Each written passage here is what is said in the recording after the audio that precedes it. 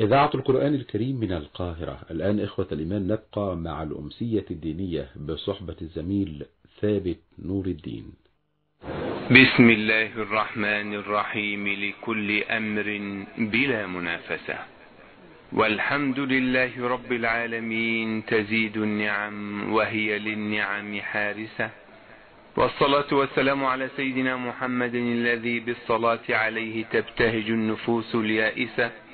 وعلى آله وصحبه وذريته سادة الناس برا وبحرا ويابسة أيها الإخوة المؤمنون نحييكم من أسوان بساحة السادة الأدارسة حيث ننقل لحضراتكم أمسية دينية احتفالا بالعام الهجري الجديد وخير ما نبدأ به القرآن الكريم.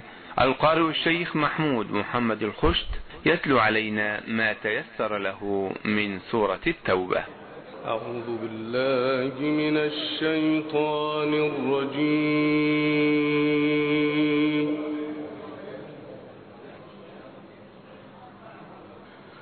بسم الله الرحمن الرحيم.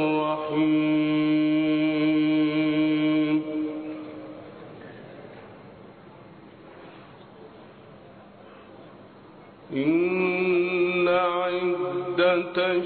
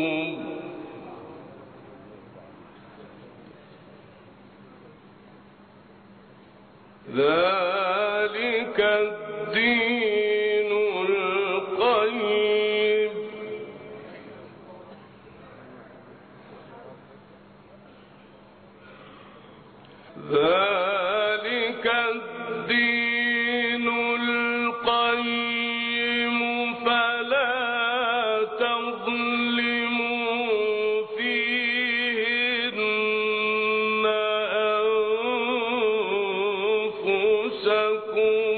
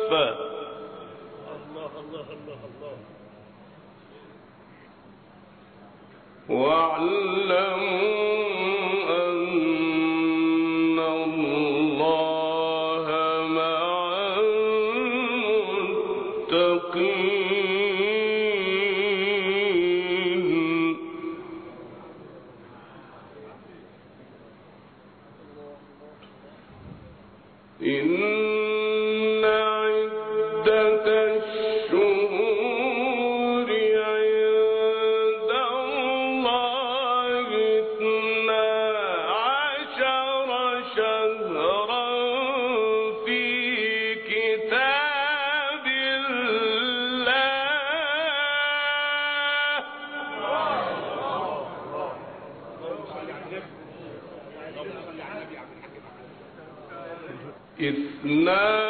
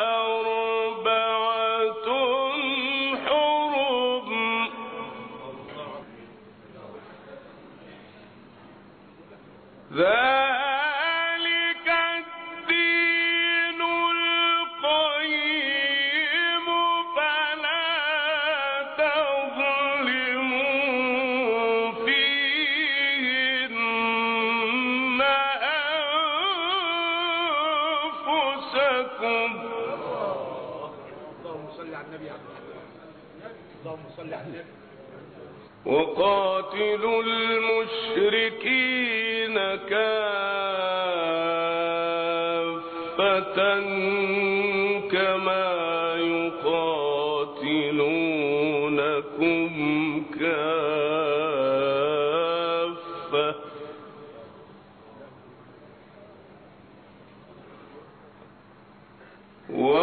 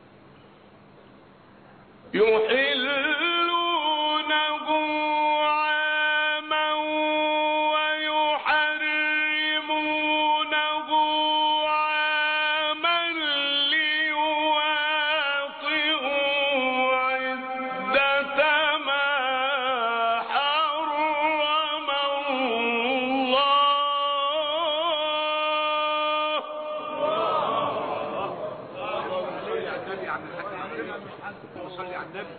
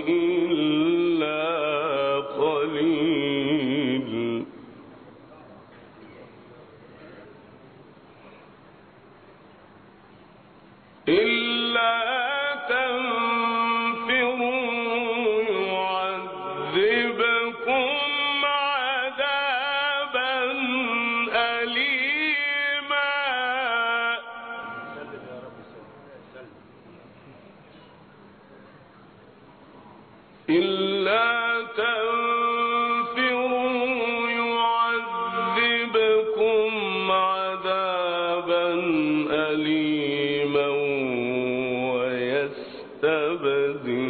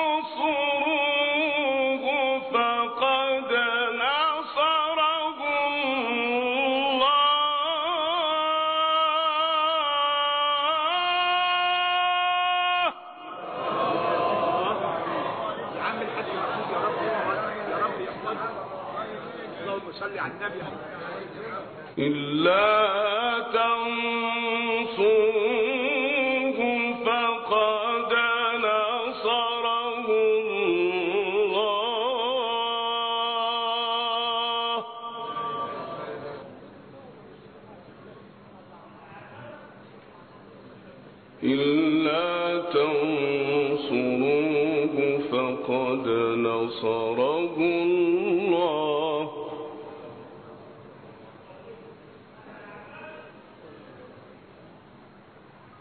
إذ أخرجه الذين كفروا ثاني اثنين.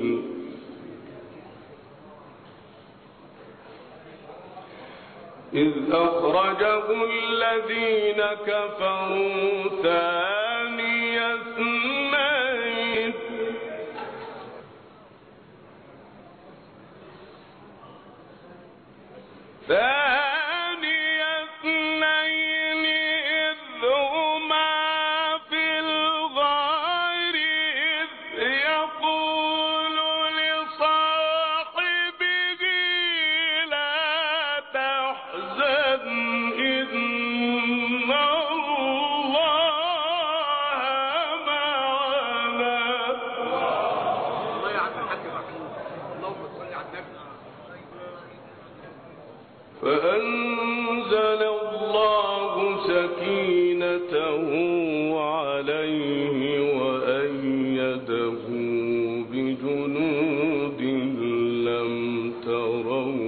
Uh.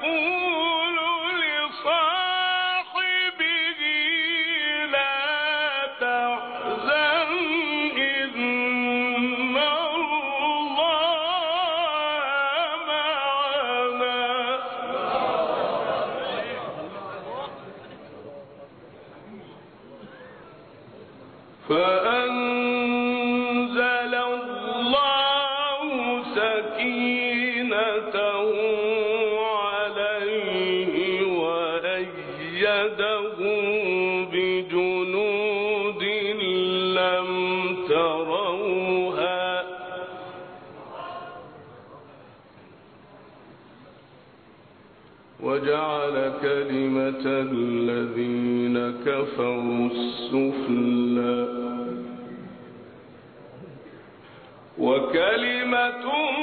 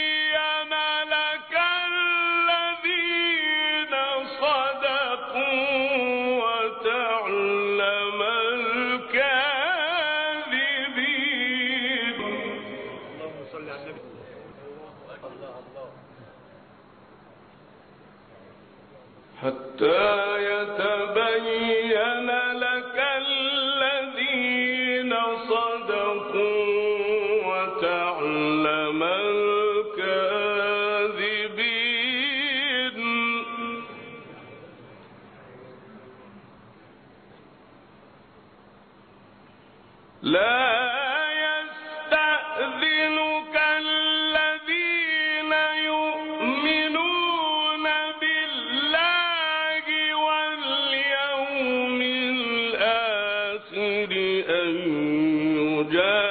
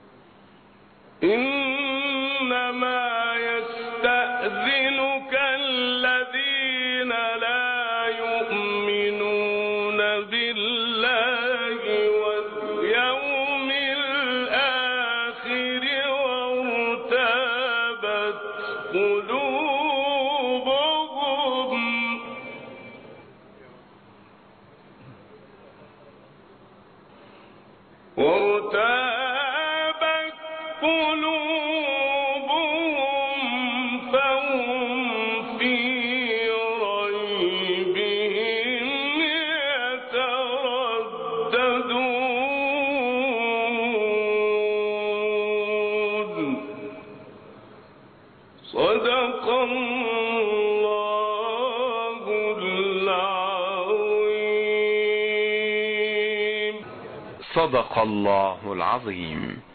اللهم اجعلني من حفظة القرآن وأصلح به أمري وأدخلني به الجنة وأنر به قبري وأنر به عقلي واشرح به صدري وفقهني فيه ووفقني للعمل بما يحويه طوال عمري. استمعنا إخوة الإيمان لآيات من القرآن خير الذكر. تلاها علينا القارئ الشيخ محمود محمد الخشت مما يسره الله من اليسر من ساحة السادة الأدارسة بأسوان في أمسية بمناسبة العام الهجري والتي نستمع فيها الآن لفضيلة العالم الجليل وبحر العلم الذي يجري الحبيب علي الجفري. الحمد لله. حمدا نستفتح به مغلقات الأبواب. ويهتك به بيننا وبين المحبوب كل حجاب ونرقى به في ليلتنا هذه في خاتمة عامنا هذا إلى مراتب المحبوبية صلة وشفاعة ونفحة من حضرة أعظم راق إلى حضرة قاب سيدنا محمد. اللهم صل وسلم وبارك وكرم على سيدنا ومولانا محمد. صلاة وسلاما تسقى بهما القلوب من حقائق المحبة والمعرفة ما تتبهرج به فتسكن جدوة النفوس عن الأمارية وتتهيأ لحقائق الخضوع والإخبات بين يدي حضرة الربوبية فترقى من الأمارة إلى اللوامة إلى الملهمة إلى المطمئنة إلى الراضية إلى المرضية إلى الكاملة. اللهم صل وسلم وبارك عليه وعلى آله. غربت شمس آخر يوم من هذا العام وطويت صحائفه. وقد حملت هذه الصحائف ما حملت وكل منا في صحيفته من أعمال وأقوال ومقاصد هذا العام ما يسره أن ينشر بين يدي الله يوم القيامة. وأيضا في صحائفنا ما لا نود أن ينشر في يوم القيامة غير أنها طويت مع مغيب شمس اليوم الذي انصرف والفضل الإلهي. والجود الامتناني. اقتضى أن من صحت منه التوبة لله عز وجل فإن الله تعالى يغفر ذنوبه ويستر عيوبه ويتحمل عنه التبعات بل ويمسح بذيل إفضاله جل جلاله على آثار ذنبه في قلبه فتمسح آثار ذنوبه من صحائفه وتمسح آثار ذنوبه من الأرض التي عصى عليها وتمسح آثار ذنوبه من مصعد عمله إلى السماء. وينسى ساداتنا الملائكة الكتبة الذين كتبوا الذنوب أنهم كتبوا عليه مثل هذا الذنب. إن صحت التوبة فالساعة التي نحن وإياكم فيها ساعة تعرض لنفحة إلهية يصح فيها للقلب حضوره وخضوعه وانكساره وتسليمه فينظر الله تعالى إلى القلب وهو محل نظره فيرى في القلب معنى الانكسار والخضوع والتسليم والأدب والحياء فيرضى. وإذا رضي فلا منتهى لأنوار رضوانه. وإذا رضي أراك عجائب من تبديل السيئات إلى حسنات. نعم إخوتي انقضى هذا العام وكانت فيه منح وعطايا ربانية وكانت فيه تجليات امتنانية وكانت فيه معارج قدسية ودخل أول العام هذا على قلوب غافلة ذاهلة عن الله مائلة فلم تأتي آخر ليالي هذا العام ولم يأتي آخر أيام هذا العام إلا وصاحب هذا القلب قد بهرج بأنوار المعرفة بالله عز وجل. خزائن الجود الإلهي فيها هذا العطاء. بل إن فيها من العطاء عجبا إذا سرت سراية نوره إلى القلب الغافل الذاهل أشرقت في جنباته في لحظة واحدة. أنوار العطاء الرباني فتطهر القلب. وتنقى وترقى وتلقى عن الله فإذا به في صفوف أولياء الله. ذلك فضل الله يؤتيه من يشاء. والله ذو الفضل العظيم. وما حال فضالة الذي جاء وهو يريد قتل رسول الله صلى الله عليه وسلم؟ أي قلب قد تحجر وتمكن منه الخبث إلى حد أن يفكر في اغتيال سيدنا محمد؟ أي قلب هذا؟ ولكنه عندما لحق رسول الله في المطاف وهو يتحين الفرصة التي يغفل فيها الناس عنه ليخرج سكين الغدر فيطعن بها رسول الله يلتفت إليه رسول الله ينظر إليه سيدنا محمد.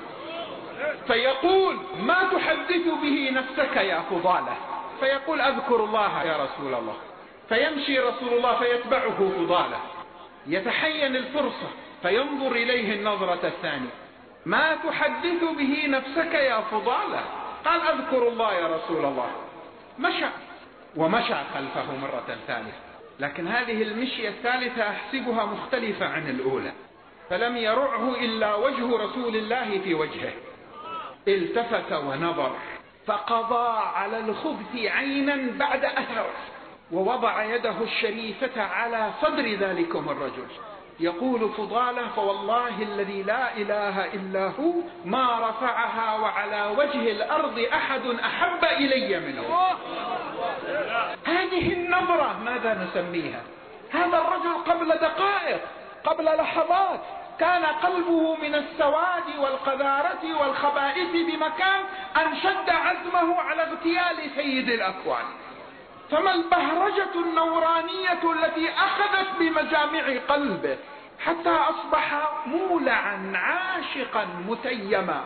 هذه اللحظة هي التي يسمونها النظرة. هي التي يسمونها المدد. هذه النظرة والمدد هذه الإقبال المحمدية النورانية على تلكم الذات التي كانت في الظلمات في لمحة عين. قال وضع يده على صدري وليس على وجه الأرض أبغض إلي منه فلم يرفعها وعلى وجه الأرض أحب إلي منه. ما هذا النور؟ هذه النظرة التي أحدثكم عنها. ونحن وإياكم في هذه الليلة الشريفة المباركة المنورة هي أول ليالي هذا العام. نحن دخلنا في السنة الجديدة. السنة الجديدة عندنا لا تبتدئ بنصف الليل هذا عند غيرنا. السنة الجديدة عندنا تبتدئ بغروب الشمس لأن الليل يسبق النهار. فبمجرد غروب الشمس دخلت السنة الجديدة. السنة الماضية أدركت خيرات حسان من المولى جل جلاله.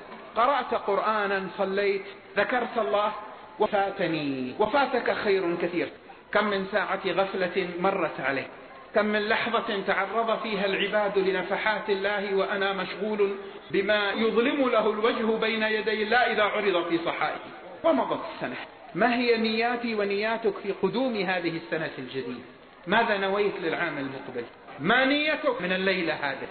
صلاتك بمن حواليك بمن تعرف؟ الوالدان ولا تقل لهما أف. ما هي نيتك في صلتك بالوالدين؟ ما هي همتك في خدمة الوالدين؟ أكثر من ذلك. لا أقول لك الطاعة فقط. لا أقول لك الخدمة. ما هي نيتك في إسعاد والديك؟ في تحسس معاني إدخال الرضا. أن تسمع من أمك في الصباح كلمة روح الله يرضى عليك يا ابني. أن ترى في وجه أبيك في عيني أبيك بريق ولمعة السرور بك. هذه لها عند الله شأن كبير. لا تدرك بطول قيام ولا بكثرة صيام. ما شأنك مع الرحم؟ هل لا يزال شيطان القطيعة يسطو عليك؟ في المناسبة الفلانية لم يسأل عني لم يزرني لم يتعامل معي. آه غلط في حقي أخذ مني فعل بي. هل لا تزال هذه الوساوس الصغيرة؟ ما تحتاج إبليس حتى يأتي إليك بها. الشياطين صغير هكذا يأتي ويرميها لك. وأنت صغير وخفيف لدرجة تتلقفها أما علمت أن قاطع الرحم ملعون ولو مات في جوف الكعبة والعياذ بالله؟ أما علمت أن الرحم معلقة بساق العرش تسأل الله عز وجل أن يصل من وصلها وأن يقطع من قطعها وأن الله أعطاها ذلك؟ ما صلتك بجيرانك الذين يحيطون بك؟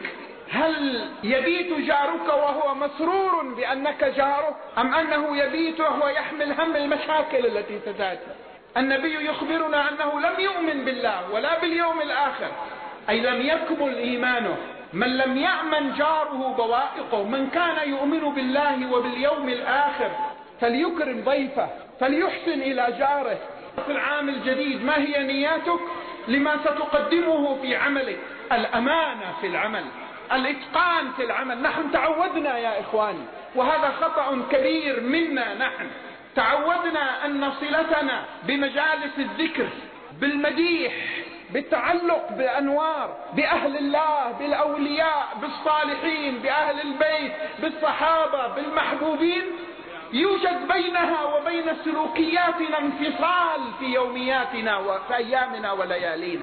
الهائم العاشق للنبي صلى الله عليه وآله وسلم. وآل البيت والصحابة ثمرات هيامه وعشقه تظهر في تعاملاته في النهار في أمانته إذا أخذ في أمانته إذا أعطى في أمانته إذا صنع في حرفة كيف يؤديها كما ينبغي في أمانته إذا داوم في مكتب في عمل إذا كتب ورقة إذا باع إذا اشترى. مظاهر المحبة تظهر في تعاملاتنا. يدخل عليك العام الجديد. ما هي نياتك؟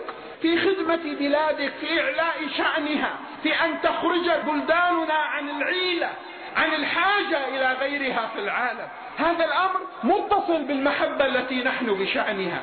ما هي نيتك في صحبة كلام الله عز وجل؟ الذي أنزل على قلب حبيبك ويسر بلسانه.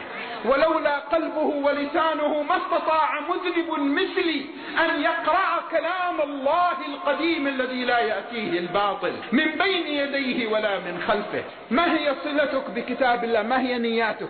العام الماضي كم ختمة ختمت في غير رمضان؟ ما هي نياتك للعام هذا المقبل؟ هل تنوي أن تختم في كل شهر ختمة؟ يعني جزء كل يوم؟ ما قدرت مع أنه سهل في كل ساعة. ما قدرت نصف جزء كل يوم فتختم كل شهرين. هذه نية نستقبل بها العام المقبل. ما هي نيتك مع الذكر؟ مع ذوق الذكر. مع أنس الذكر. مع الوله بالذكر. مع تلألؤ أنوار تجليات الذكر في حضرة المذكور. ألك تشوف في العام الجديد أن يعرج بك من الذكر إلى المذكور؟ من العطية إلى المعطي؟ من الطلب إلى المطلوب؟ هذا مطلب هذه نية تعقدها. ما هي نيتك هذه الليلة؟ في صلتك بالجناب العريض صلوات ربي وسلامه عليه. نصيبك من الصلاة والسلام عليه. بحب بعشق بذوق. ما هو وردك من الصلاة على سيدنا محمد؟ ما هي نيتك لهذا العام في رؤياك لسيدنا محمد؟ اشتقت أمشتاق أنت إليه؟ هل يوجد بين جوانحك روح يختلجها ويبرحها الشوق إلى المحبوب. الله هو شوقك إليه. ألم يقل لك من رآني في المنام فسيراني في اليقظ بلى قال هذا في صحيح البخاري. من رآني في المنام فسيراني في اليقظة ولا يتمثل الشيطان بي. شوقك إليه فهل اشتقت؟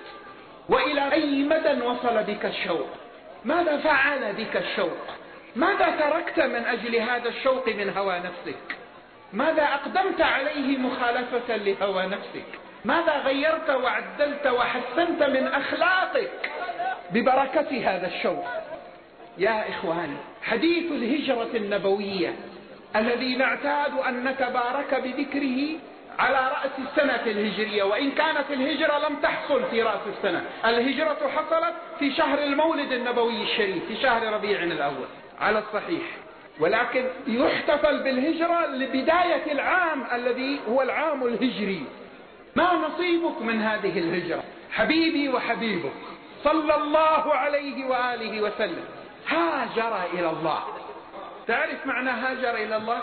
هذا الباب مفتوح إلى الآن لتهاجر إلى الله. لم يغلق هذا الباب. ما زال مفتوحا.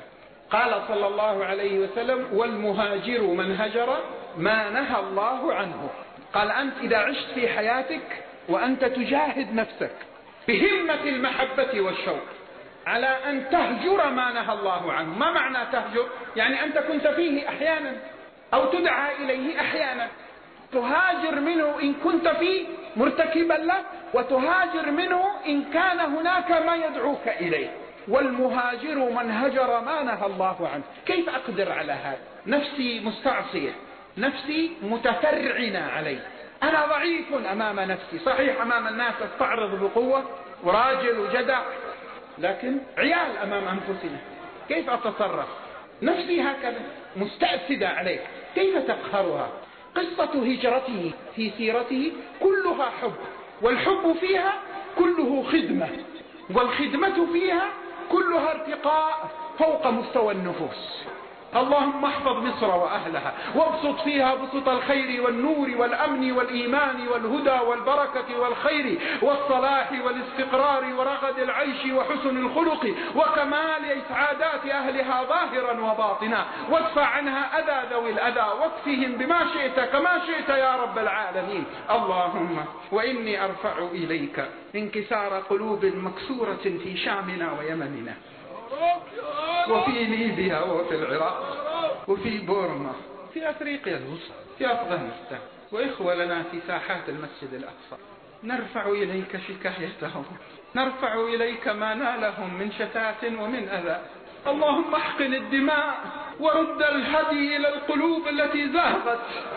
واجمع القلوب على المحبة وانزع عنها البغضاء.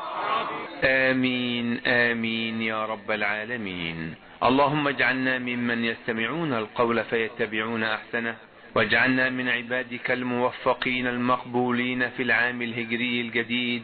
وأعد هذه الأيام على أمتنا العربية والإسلامية والمصرية بكل خير وتوفيق يا رب العالمين.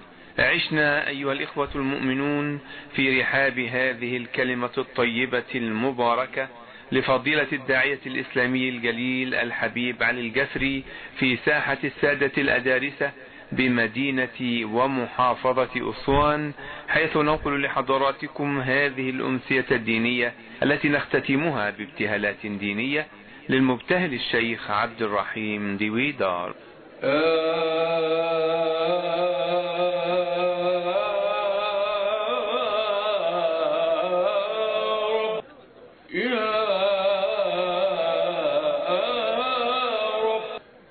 يا